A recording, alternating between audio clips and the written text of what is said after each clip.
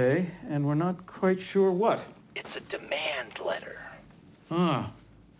No, it was a little confusing because it was written on, uh... Well, I had to write it quickly because your clients were in the process of destroying evidence. Mr. McGill, if you're talking about shredding documents, it's neither irregular nor illegal. Every business in America does it. You say potato, I say spoliation. Uh-huh. Maybe you should walk me through what you're alleging here. I believe it's all in the letter. I, I, I'm not saying it's not, but it's a bit hard to read. Next time I'd use double ply. Let's not fixate on the medium, okay? Let's look at the message.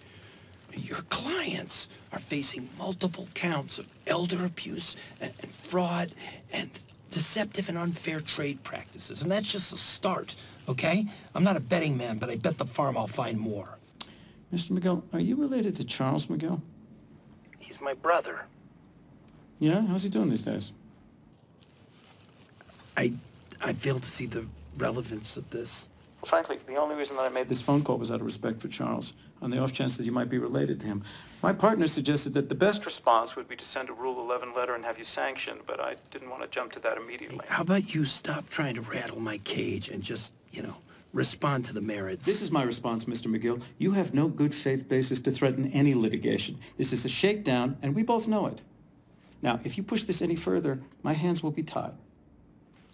Sorry for interrupting your evening. Enjoy the magic flute.